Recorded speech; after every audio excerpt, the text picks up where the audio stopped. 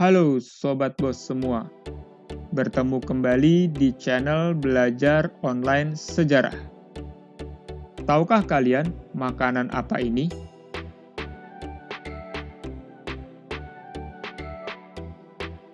Atau pernahkah kalian menonton film ini?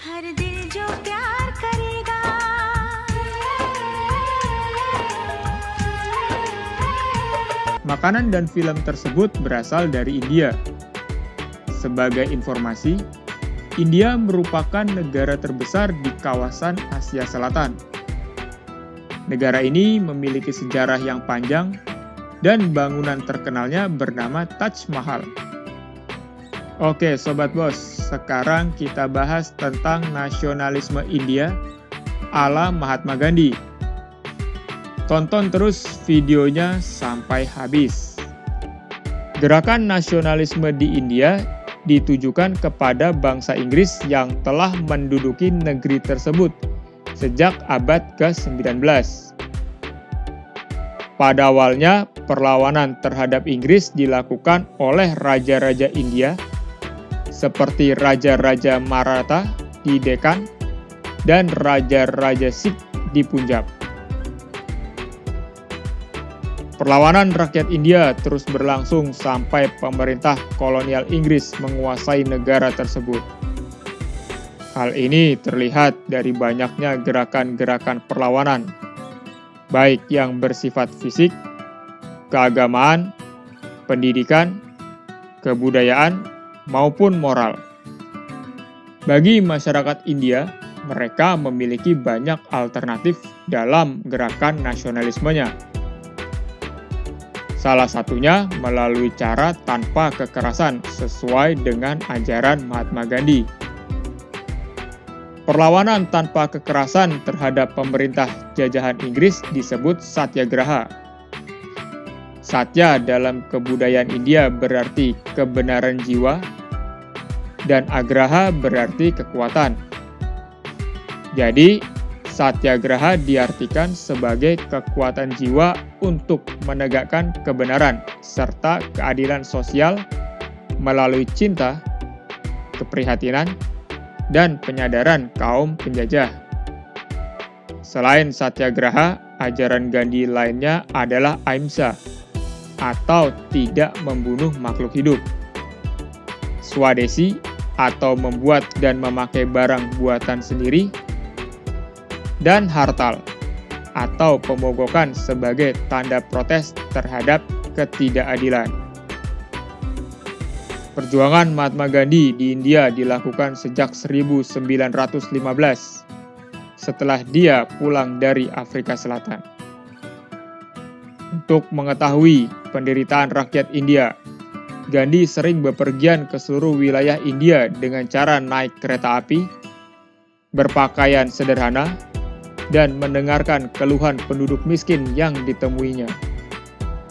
Setelah melihat penderitaan para petani dan buruh-buruh India yang bekerja di perkebunan serta pabrik milik orang-orang Inggris, Gandhi kemudian mempelopori pemogokan di tempat kelahirannya di Gujarat. Saat itu, Gandhi tampil sebagai pemimpin gerakan nasional melawan Inggris.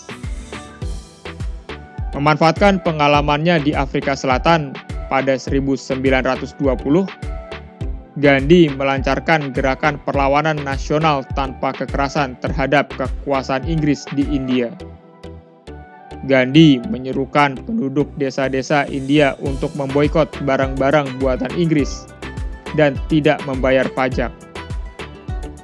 Seruan-seruan Gandhi ternyata mampu membakar semangat perlawanan tanpa kekerasan kepada penguasa Inggris. Setelah kehadiran Gandhi, gerakan nasional di India tidak lagi hanya dilakukan oleh golongan terpelajar yang memperoleh pendidikan barat. Kini, penduduk di pedesaan yang buta huruf juga terlibat dalam gerakan nasional. Kedua, golongan tersebut bersatu untuk menumbangkan pemerintahan asing. Seruan Gandhi untuk menggunakan cara-cara tanpa kekerasan disambut oleh kasta Hindu di luar kasta kesatria yang secara tradisional pasif dan tidak pernah menggunakan kekerasan. Semua kasta disambut oleh Gandhi untuk melakukan cara yang sama.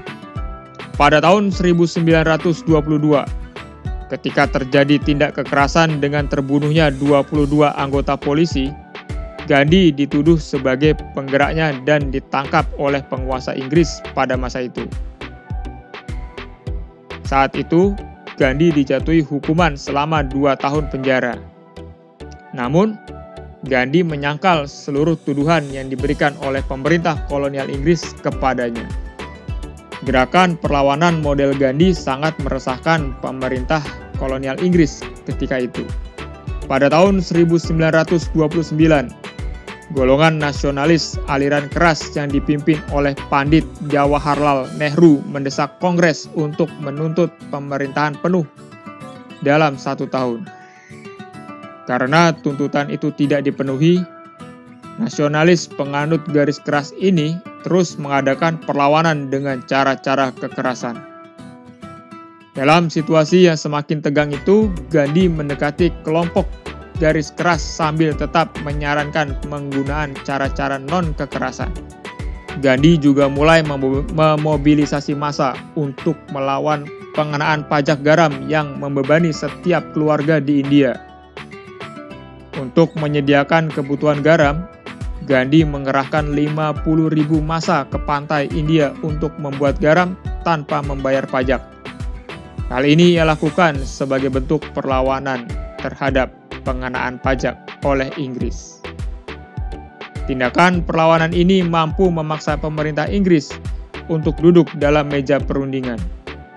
Pada tahun 1931, disepakati oleh kedua belah pihak untuk dibentuknya pemerintahan pribumi yang independen. Pada 1935, dibentuk konstitusi baru yang menjamin kuatnya kedudukan parlemen India. Sebagai Dewan Perwakilan Penduduk Pribumi India, parlemen saat itu berperan penting memperjuangkan suara-suara rakyat India. Konstitusi serta parlemen baru ini merupakan cikal bakal terbentuknya negara India yang merdeka.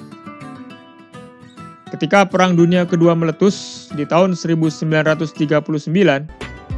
terjadi pertentangan di antara kelompok nasionalis India. Dalam konflik itu, Gandhi tidak mampu merangkul semua golongan agama yang ada di India. Salah satu organisasi perjuangan nasionalis India adalah Liga Muslim yang dipimpin oleh Muhammad Ali Jinnah. Muhammad Ali Jinnah mengendaki agar daerah di India yang penduduknya didiami oleh mayoritas Muslim memisahkan diri dari India yang mayoritas beragama Hindu. Dalam konferensi Liga Muslim di Lahore pada 1940, Muhammad Ali Jinnah menyerukan kepada para pendukungnya untuk membentuk negara yang lepas dari dominasi orang-orang Hindu. Setelah berakhirnya Perang Dunia Kedua, warga Muslim dan Hindu di negara tersebut terpecah ke dalam dua negara, India dan Pakistan. Kedua negara itu berdaulat pada tahun 1947. Gandhi yang tidak setuju dengan terbelahnya India harus berhadapan dengan gerakan fanatik Hindu. Pada akhirnya, Gandhi terbunuh pada tahun 1948 oleh bangsanya sendiri yang telah ia perjuangkan. Nah, sobat bos, itulah penjelasan tentang nasionalisme India ala Mahatma Gandhi. Semoga video ini dapat bermanfaat bagi kalian semua. Ayo, dukung terus channel ini dengan klik tombol subscribe agar channel ini dapat berkembang dan terus memberikan informasi sejarah buat kalian. Sampai bertemu kembali di video-video berikutnya dan sehat selalu untuk kalian semua sobat bos. Terima kasih.